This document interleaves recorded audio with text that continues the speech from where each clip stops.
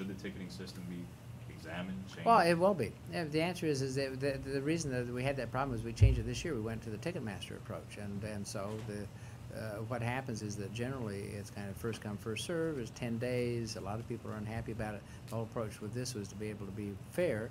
Uh, but uh, no one knew that within uh, ten minutes or ten hours, you're going to get twenty or thirty thousand requests.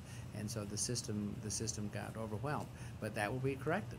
And uh, as with any new system, it takes a minute or two uh, uh, to get the, get the thing corrected, and they will get it corrected. And ultimately, I think it'll work out a heck of a lot better. Makes sense to me what they're trying to do.